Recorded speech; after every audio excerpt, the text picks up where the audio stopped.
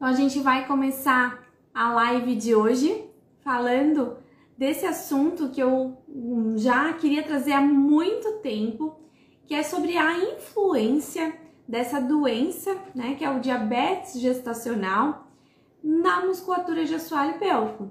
Que a musculatura de assoalho pélvico é o nosso principal trabalho ali, a nossa principal atuação, tanto na gestação quanto no puerpério.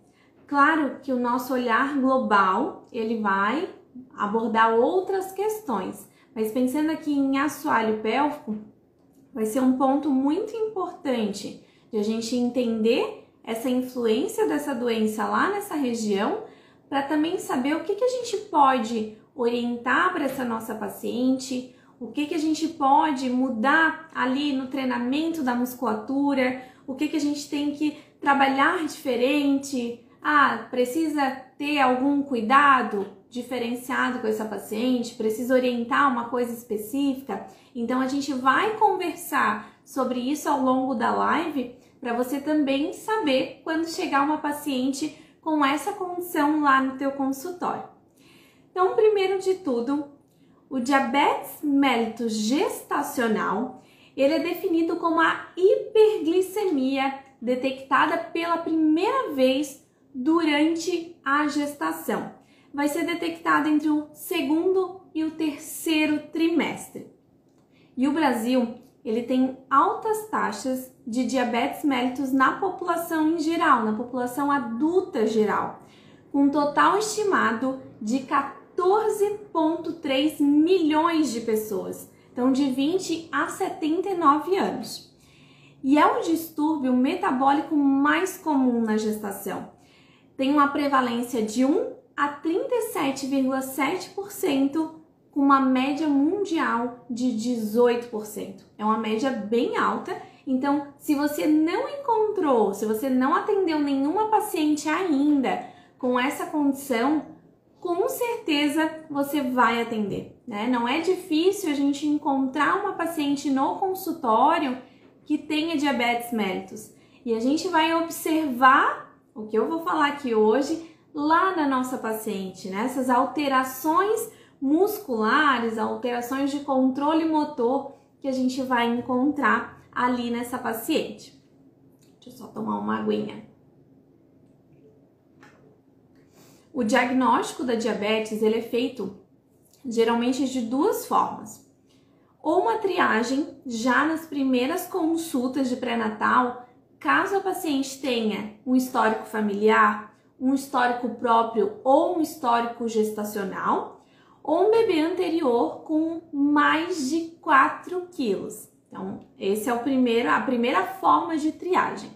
A segunda forma é uma triagem com 24 a 28 semanas, onde a paciente vai fazer o exame da curva glicêmica. Com certeza, você que atende gestantes já ouviu ela falar que ela tomou um líquido extremamente doce.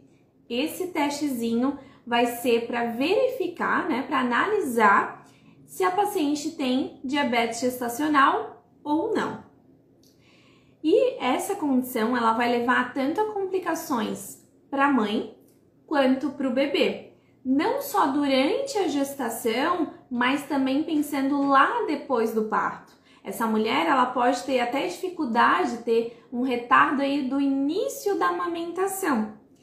E pensando no bebê ainda durante essa gestação, esse bebê, ele pode desenvolver uma macrosomia fetal. A gente pode também um aumento, ter um aumento do líquido amniótico, né? Então, um polidrâmino, síndrome do desconforto respiratório do neonatal, desenvolvimento de cardiopatias, hipoglicemia neonatal, prematuridade, morte fetal e também esse bebê ele tem uma maior prevalência de obesidade infantil lá até a adolescência. Então, olha o impacto né, dessa doença para a mãe e para o bebê. A gente ainda vai conversar sobre os impactos para a mãe, né, pensando em assoalho pélvico, mas hoje a gente vê muito nos estudos uma alta taxa de cesariana, uma alta taxa de parto prematuro e uma alta taxa de macrosomia fetal, né? Esse bebê grande, tá? Então a gente também vai ter um impacto no assoalho pélvico em decorrência também desse bebezão, né? Desse aumento do líquido amniótico, tá? Mas calma que a gente já vai conversar sobre isso. E as mulheres com diabetes, elas têm uma chance maior também de recorrência de diabetes mellitus em próximas gestações e também um risco maior de desenvolver essa doença, daí sim uma diabetes tipo 2 ao longo da vida. Então não é só ali na gestação. Ela pode ter um impacto lá depois, né? Lá no pós-parto e ao longo da vida inteira dela. Tá? Então não é só ah, vai fazer uso de insulina e tá tudo certo. Não, não é só isso, tá? O impacto dessa condição ela é muito grande tanto para a mãe quanto para o bebê. Então a gente falou aí já uma introdução, né? Eu trouxe aqui para vocês toda essa condição, tudo que é diabetes, a prevalência, né? Todas essas condições envolvendo o bebê. E hoje a gente veio falar sobre assoalho pélvico. Então, qual a influência dessa diabetes lá nesse assoalho pélvico? Então, eu vou trazer para vocês ah, o que a maioria dos estudos sobre diabetes está trazendo né? Sobre quais os efeitos dessa condição lá nessa região, o efeito na gestação, o efeito lá no puerpério. Então, primeiro de tudo, que a diabetes mellitus gestacional e a miopatia diabética, elas têm sido descritas como fatores de risco para o desenvolvimento de disfunções do assoalho pélvico, principalmente disfunções musculares na gestação e lá no pós-parto. Então, a hiperglicemia, ela tem sido implicada aí na lesão muscular e também em uma função prejudicada dessa musculatura de assoalho pélvico nesses dois momentos. Então, tanto na gestação quanto lá no puerpério.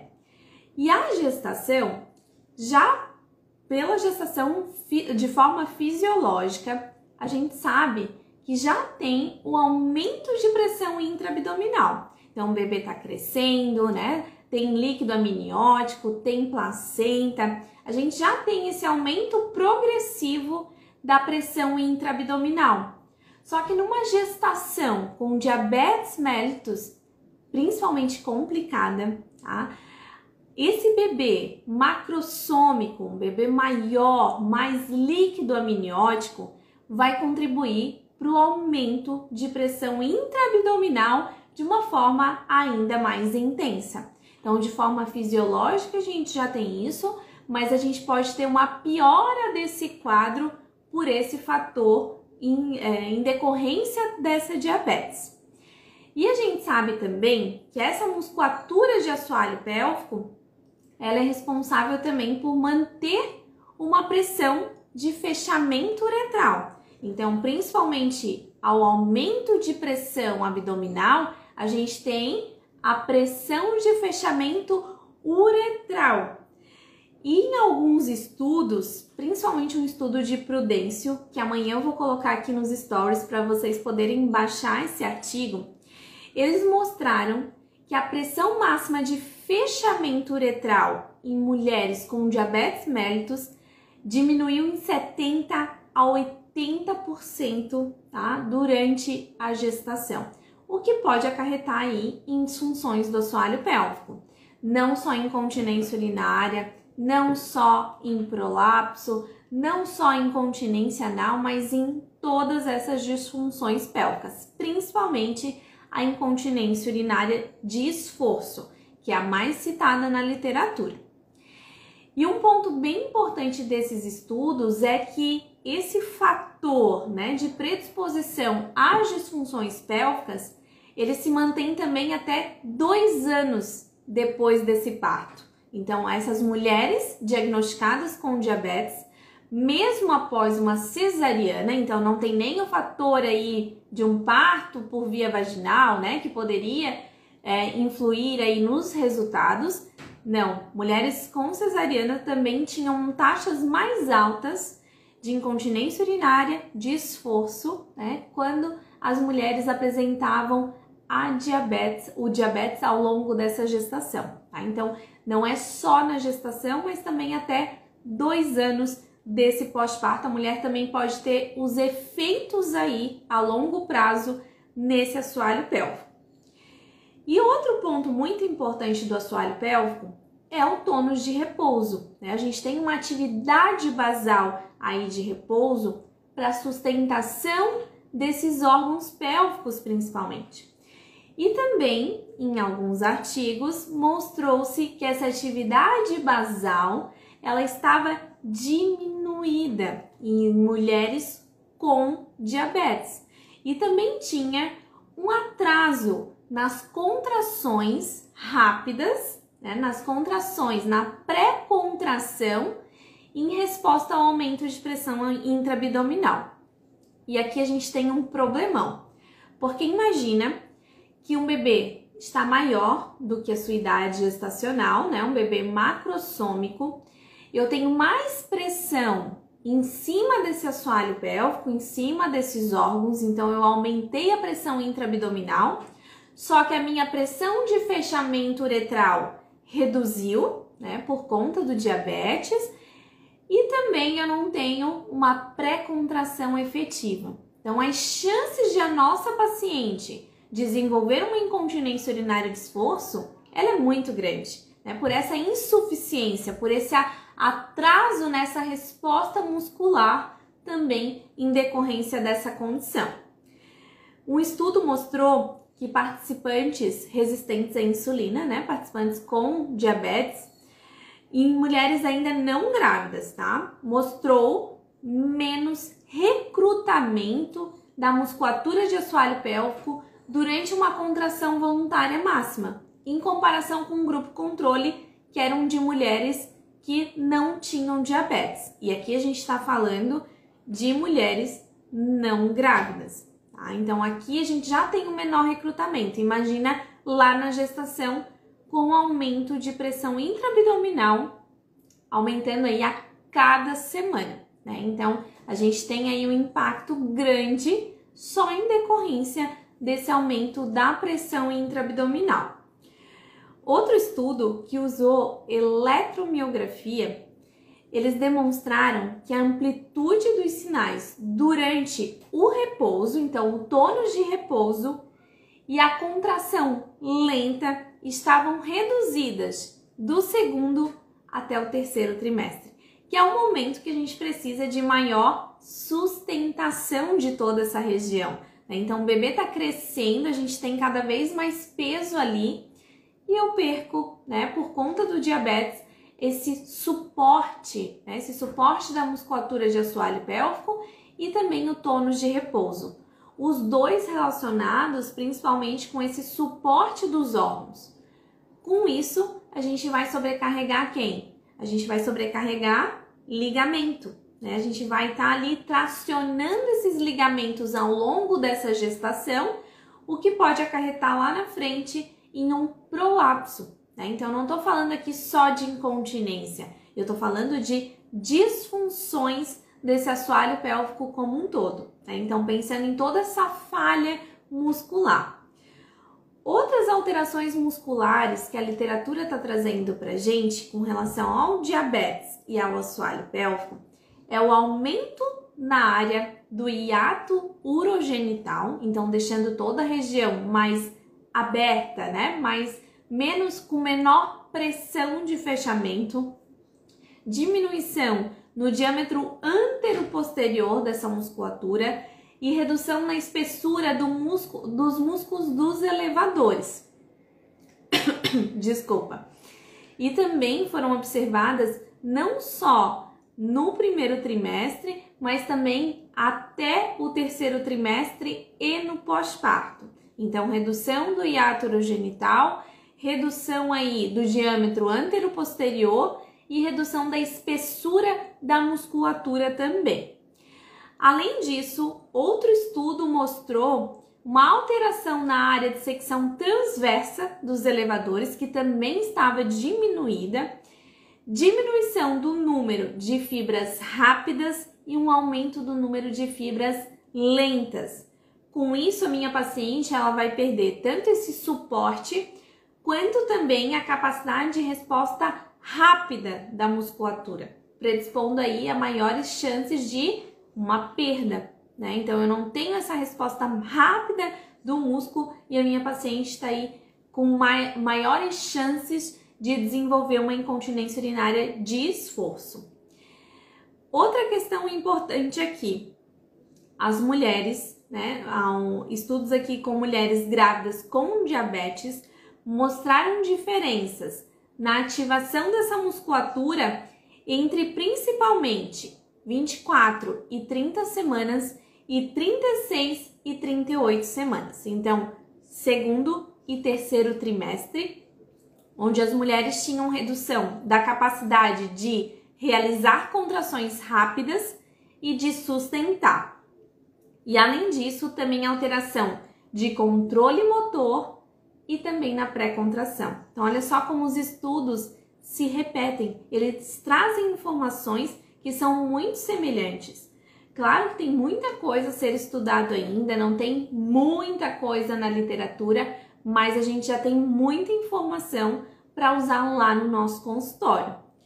Outra questão envolvendo toda essa questão metabólica do diabetes é que ela também vai alterar os canais iônicos lá na musculatura, né? Nessa toda essa parte de ativação neuromuscular, infiltração de gordura, proliferação de tecido conjuntivo na musculatura de assoalho pélvico e também danos na musculatura uretral, caracterizada aqui por alterações de fibras rápidas e lentas diminuição do número de fibras de colágeno, aumento de anormalidades estruturais, como mudanças aí de fibras de colágeno, aumento na nessa organização, né, de fibras, de fibrilas de colágeno, alteração da relação reativa de colágeno tipo 1 e tipo 2 e diminuição dos níveis totais de glicosaminoglicanas e atrofia muscular. Olha só quanta coisa que eles observaram.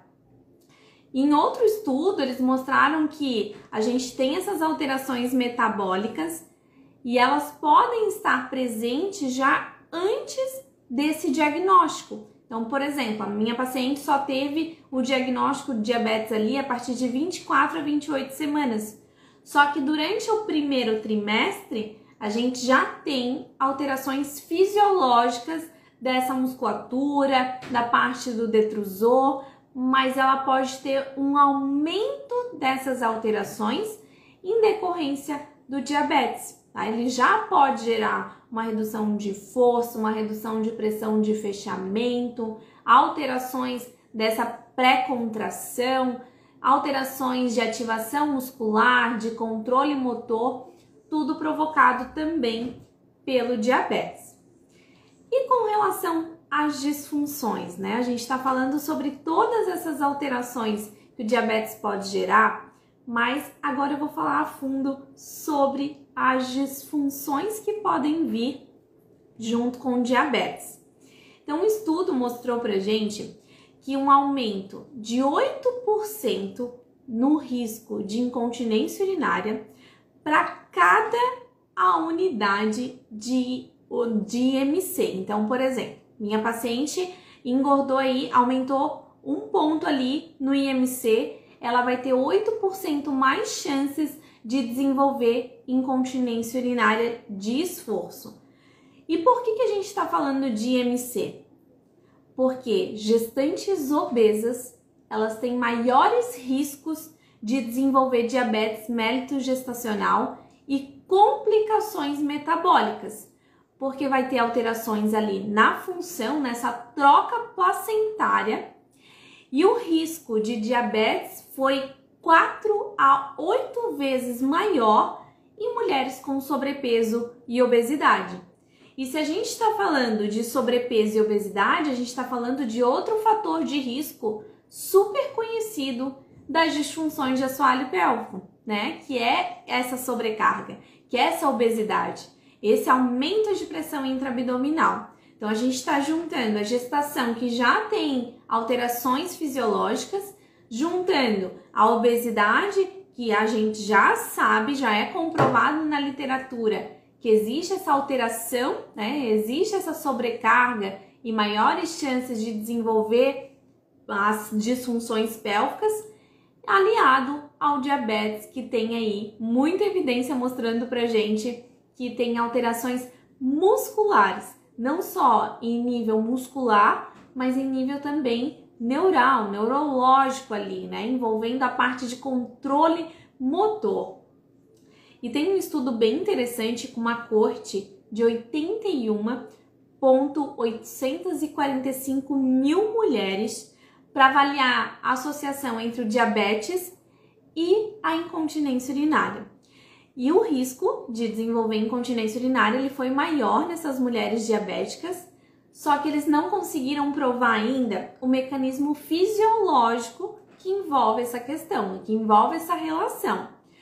No entanto, o que eles já provaram nesses estudos foi que o ganho de peso, a obesidade, a macrosomia fetal e quaisquer outras condições que vão aumentar a pressão vesical, a mobilidade uretral e aumentar a pressão intraabdominal podem provocar aí disfunções de assoalho pélvico.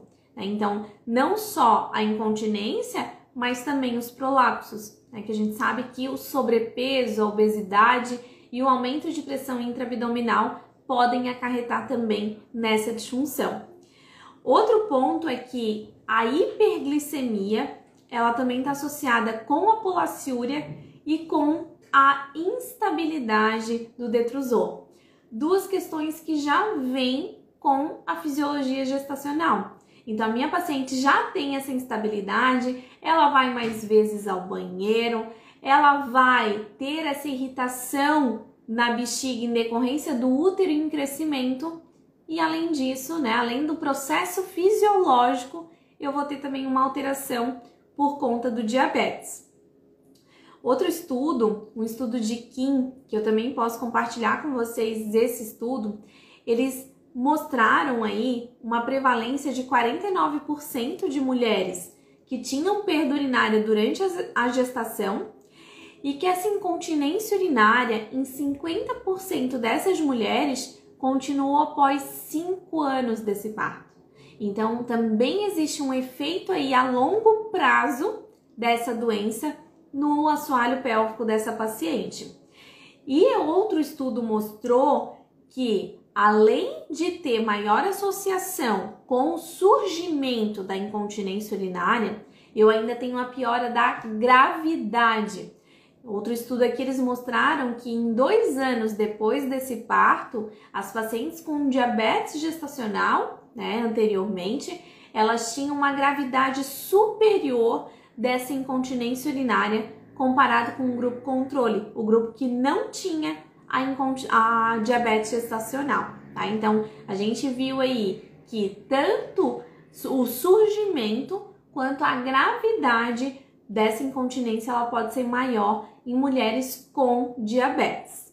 Então, só recapitulando, a gente tem uma prevalência maior de incontinência urinária na gestação e dois anos após o parto, então, ele é significativamente maior entre as mulheres que têm diabetes gestacional e a incontinência urinária de esforço é a mais comum, principalmente pelo aumento de pressão intraabdominal. E essa hiperglicemia ela pode gerar no assoalho pélvico. Vamos lá.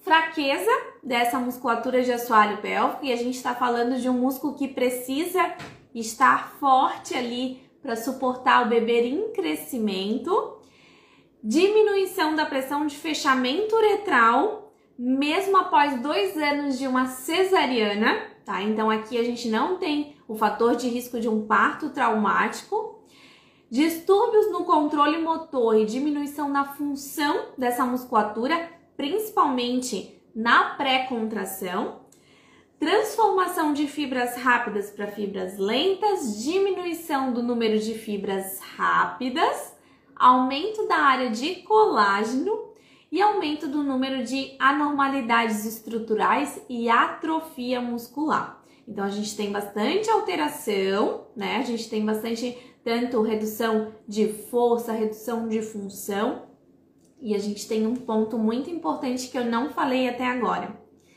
Aliado a esse aumento de pressão intraabdominal pela macrosomia fetal, a gente tem outro efeito dessa macrosomia.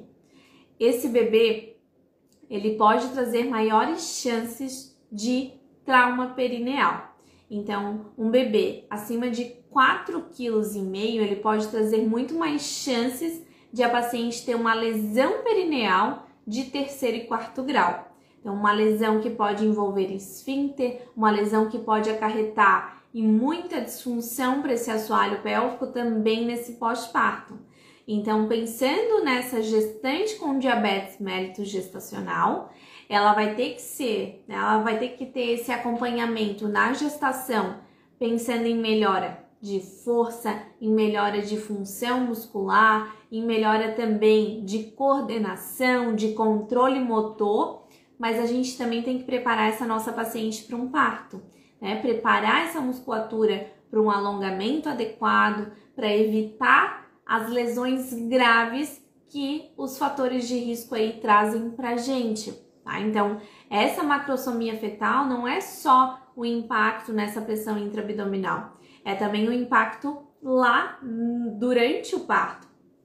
E o impacto também no pós-parto, que um trauma assim grande pode acarretar para nossa paciente. Né? Imagina uma paciente que teve uma lesão grave, que depois tem que amamentar sentada por um longo período. Então a gente também tem que pensar nisso. E pensando em todas essas alterações, agora a gente vai falar sobre o nosso papel no diabetes mellitus gestacional. Então quero saber de vocês, alguma dúvida até agora? Oi, Elisângela, que bom que conseguiu vir.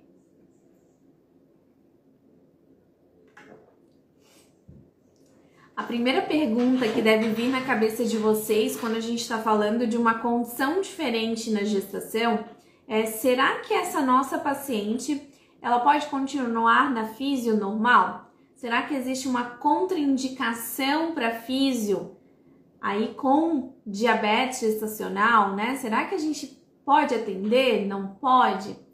A resposta é: a gente deve atender. A gente viu o impacto dessa doença nessa musculatura e a gente precisa preparar essa mulher, né? Então ela deve sim receber atendimento. Não é contraindicação o atendimento para essa nossa paciente.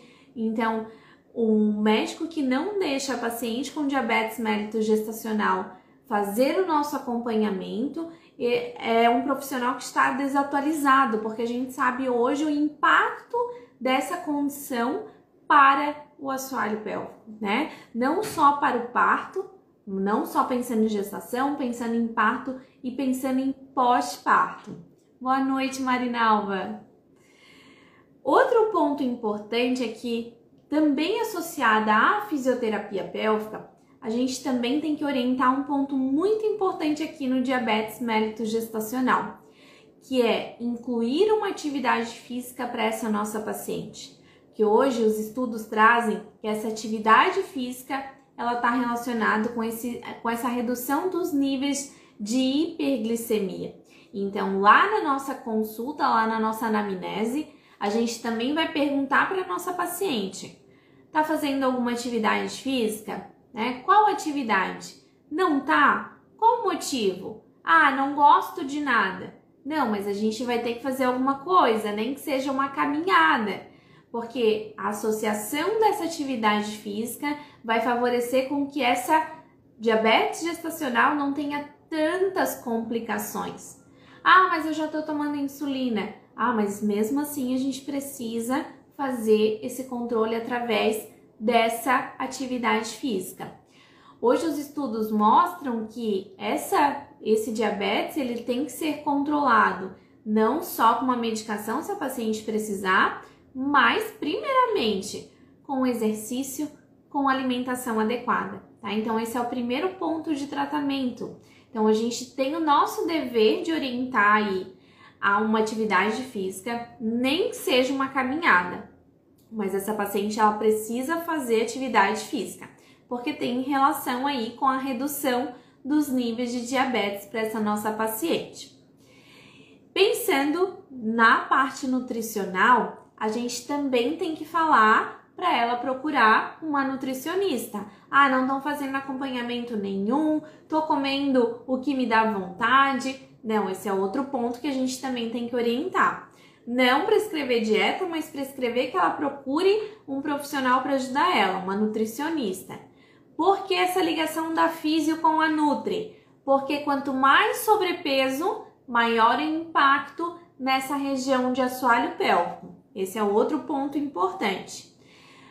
Outra questão fundamental: médico e fisioterapeuta eles devem conversar sempre. A gente sempre tem que estar tá conversando, sempre tem que estar tá perguntando como que tá essa paciente, sempre tem que estar tá verificando os exames. Ah, teve alteração? Não teve? Entre em contato com o médico para saber quais os próximos caminhos para aquela condição da nossa paciente, tá? Tudo isso é super importante. A Jéssica colocou: meu TCC foi sobre incontinência urinária no pós-parto. Infelizmente, muitas mulheres não recebem a informação para fazer fisioterapia.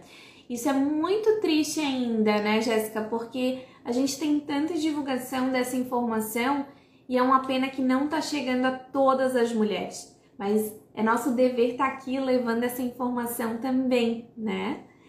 Ah, que bom que você está gostando da live. Deixa eu só tirar aqui. E agora a gente vai conversar sobre qual o nosso papel em preparar esse assoalho pélvico. Então, lá recapitulando, a gente viu que tem redução de força, redução de função, redução de pressão de fechamento, aumento da pressão intraabdominal, a gente também tem alterações ali da pré-contração e também alterações que podem provocar um trauma perineal. Pensando em tudo isso, eu trouxe várias questões para vocês. Olha quanta coisa que a gente deve trabalhar com essa nossa paciente. Então, a paciente vai chegar, mesmo que a gente já fez a avaliação, porque às vezes ela começou com a gente no primeiro trimestre e ela vai ter esse diagnóstico às vezes lá no segundo. Né? Então, já fizemos a anamnese, mas ela chegou contando: olha, deu é, positivo ali para diabetes gestacional, minha médica prescreveu isso. Chegou o momento de a gente conversar com a médica novamente. E daí, a partir daquele momento também, ir conversando sobre todas essas questões que eu falei para vocês. Mas pensando na parte de assoalho pélvico, a gente vai estar tá sempre reavaliando a nossa paciente, porque a gente consegue verificar se o impacto daquela sobrecarga ele está piorando o quadro da nossa paciente ou a paciente está conseguindo manter ali. Por exemplo, um grau de força 3, um tempo de sustentação de 4 segundos, conseguiu fazer 4 vezes de 4 segundos. Ah, mas agora o bebê está ganhando muito peso. Ah, agora caiu todos esses parâmetros. Então, um momento de intensificar o exercício, de intensificar força, intensificar função, tentar trabalhar ali com a paciente fibras de sustentação também, tentar fazer um exercício funcional para ativar bem pré-contração. Então, todos esses pontos eles têm que ser levados em conta no momento que a gente está avaliando a nossa paciente e também no momento de prescrever os exercícios. Tive impacto? Não tive ainda? Vou monitorar, tá? Porque dependendo do bebê, às vezes ele vai ganhar peso rápido e essa paciente não vai conseguir manter um grau de força ali que evite uma perda urinária. Né? Então a gente sempre tem que estar tá atenta a essas alterações musculares. Nem sempre todas as pacientes vão ter alterações gritantes nessa musculatura.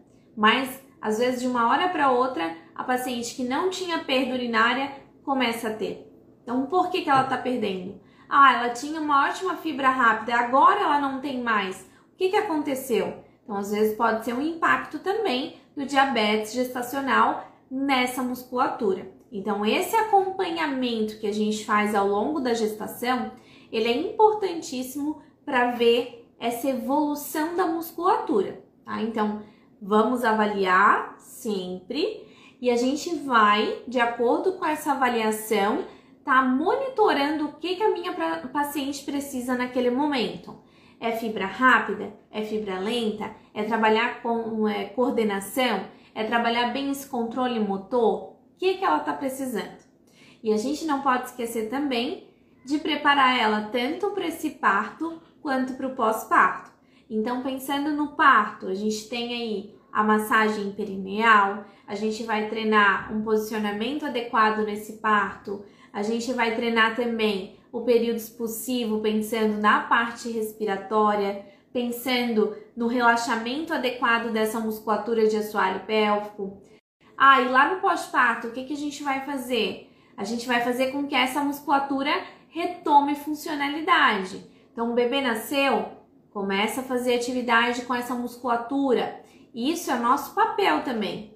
Então, a paciente ganhou o bebê, ela vai nos informar e a gente já vai passar exercícios para ela a fim de trazer essa musculatura de volta. Porque não é só diabetes que vai alterar a força e função. Não, o próprio parto ele pode alterar. Então a gente vai às vezes perder muita força, perder muita função nesse pós-parto. A paciente vai ter dificuldade nessa ativação, mas é muito importante que ela retome o quanto antes essa ativação muscular, para que a gente tenha um menor impacto, né, um impacto aí a curto prazo dessas alterações, tá? Ah, a paciente não veio no meu consultório ainda, eu não sei como é que tá essa musculatura, mas pelo relato dela a gente vai acompanhando e assim que possível, né, dentro ali do período de 40 dias, a gente vai recebê-la no nosso consultório para reavaliar e montar também um plano de tratamento para ela, dependendo das condições, das demandas, das necessidades dela naquele momento ali no pós-parto. Então a gente viu aí toda uma alteração provocada pelo diabetes que vai estar presente na gestação, que pode estar presente ali no parto e no pós-parto, e o nosso trabalho ele vai ser ao longo desses três períodos. Né? A gente não pode deixar a nossa paciente desassistida nesses períodos. Tá? Então, é extremamente importante que a gente vai estar tá ali ponto a ponto com ela, reavaliando, verificando o impacto naquela musculatura e verificando o que a minha paciente precisa. Tá? Então, essa vai ser a nossa atuação nessa condição que vai aparecer tá? no consultório. Quero saber de vocês, vocês já atenderam pacientes com diabetes gestacional? Eu já atendi algumas pacientes é, a maioria delas se saiu super bem, conseguiram manter bem a físio. Somente uma não conseguiu ter um parto por via vaginal, que o bebê estava chegando a 4,6 kg e foi uma decisão dela é, fazer uma cesariana após entrar em trabalho de parto. Ah, mas imagina um bebê de 4,6 kg, ela estava com medo de ter um parto por via vaginal né? Mas é uma paciente que sustentou ali um tempão um bebezão.